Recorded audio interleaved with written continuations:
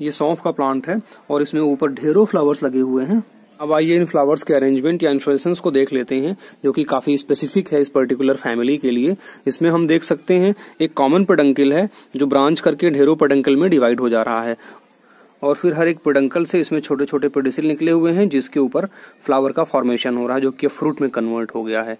देखने में ये अम्ब्रेला की तरह लग रहा है, इसीलिए इस तरह के इन्फ्लोरेसेंस को अम्बेल इन्फ्लोरेसेंस कहते हैं। लेकिन आप इसमें देख सकते हैं, ऊपर यहाँ पे एक अम्बेल दूसरा अम्बेल तीसरा अम्बेल ढेर सारे अम्बेल्स सब एक साथ इस कॉमन पेडंकल से जुड़े हुए हैं। इसलिए इसको कंपाउंड एम्बेल या कॉरिम कहते हैं। और ये अम्बिलीफेरी या एपीएसी फैमिली में पाया जाता है। इस इन्फ्लोसेंस की एक और खास बात है, इसमें अगर हम फ्लावर की हाइट को देखें तो हम ये देखते हैं कि सारे के सारे फ्लावर सब एक ही हाइट पे बने हुए हैं। आपको बता दूँ कि अम्बिलीफेरी या एपीएसी में पाया जाने वाला ये कंपाउंड अम्बिल या corymb inflorescence basic inflorescence cymose का ही मॉडिफिकेशन है, जिसमें जैसे ही फ्लावर का फॉर्मेशन होता है मेन एक्सिस की ग्रोथ रुक जाती है।